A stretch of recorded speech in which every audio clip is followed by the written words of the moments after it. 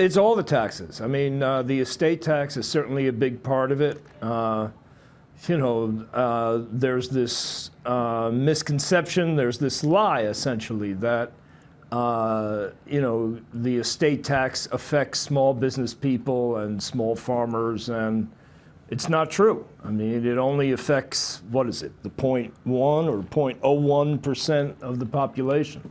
No, the, so the issue is that the tax cut is for corporations and wealthy people, and it's not going to help poor people. It's not going to help middle class people.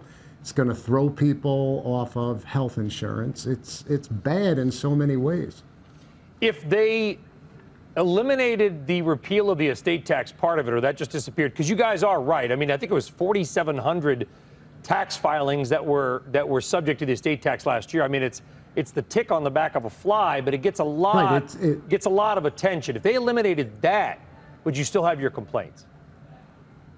Oh, yes. Oh, Yeah, because it, it's about a payoff to wealthy people in this country, businesses, wealthy individuals who have been making huge political contributions to get people elected to reduce their taxes.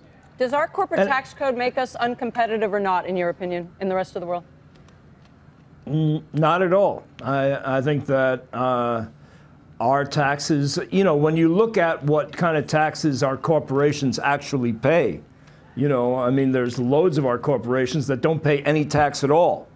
Uh, you know, they've got they've got enough loopholes and special special exceptions written into the corporate tax laws as it is that they, they don't need any more tax cuts. Well, so, what plus should the corporate tax rate be, do you think? I think it's fine where it is. You know, I think what people don't understand is that businesses really benefit from all the investments that we make in infrastructure, in our society. Uh, business benefits from a healthy society. It doesn't do any good to have a society where we have a bigger discrepancy between uh, wealthy people and poor people. I mean, we've already got a huge issue with that as it is. So, I think that's the that's the major issue is that this tax scam that's being put out now is just an excuse to give more money to already wealthy people. And we already have the biggest spread between rich and poor in the entire developed uh, world. So why not just be against what is on the table in terms of proposed tax cuts? Why go out there and actually say you want a tax hike and that taxes on the rich should be higher? Why don't you just keep taxes where they are and write a check to whatever charity or the U.S. government if you wanted?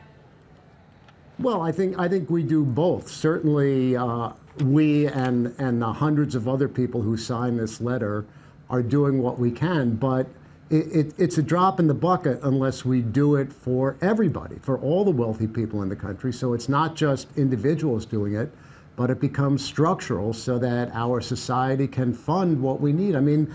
We have people without health insurance. We have people on Medicaid. We have people on Medicare. We have people in poverty in the richest country in the world, and we're looking at giving a huge tax cut to wealthy people and corporations. It just makes no sense.